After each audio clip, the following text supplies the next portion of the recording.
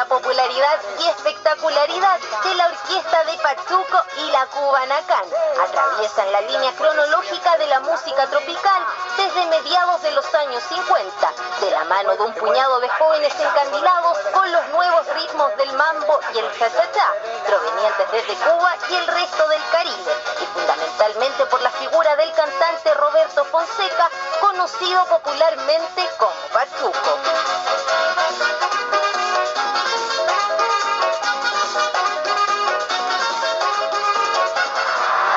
Sus más grandes éxitos son Abusadora y El Africano, los cuales confirman la popularidad de la agrupación en los 80 y 90,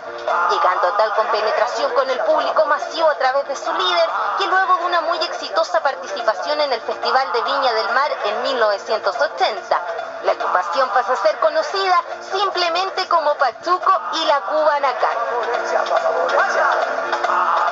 No siendo la mejor en términos musicales, la Cubanacán fue de hecho la única de estas orquestas que sobrevivió a todos los cambios y hasta nuestros días se mantiene activa incluso después del fallecimiento de Pachuco, quien deja la vida y su música a los 64 años.